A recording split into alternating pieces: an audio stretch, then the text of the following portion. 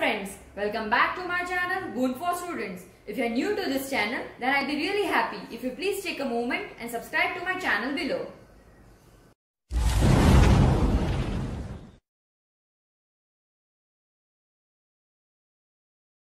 Today's topic is difference between prokaryotic cell and eukaryotic cell. I'll explain you by the points of difference. The first point of difference is kind of cell. In prokaryotic cell, it is single cell and in eukaryotic cell, it is multicellular.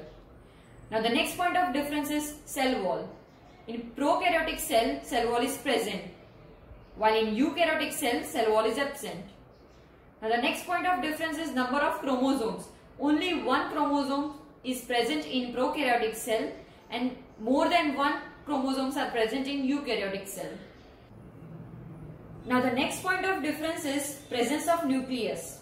In prokaryotic cell, well-defined nucleus is absent. Rather, nucleoid is present which is an open region containing DNA. In eukaryotic cell, a well-defined nucleus is present enclosed within nuclear membrane. Now coming to the next point of difference that is cell organelles.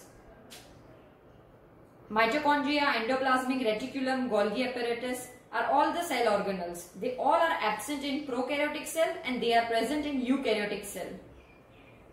Now the next point of difference is examples. In prokaryotic cell, the example is bacteria and in eukaryotic cell, the example is plants and animals. The code word for remembering this entire difference between is PECK that is PAC. PEC cube K.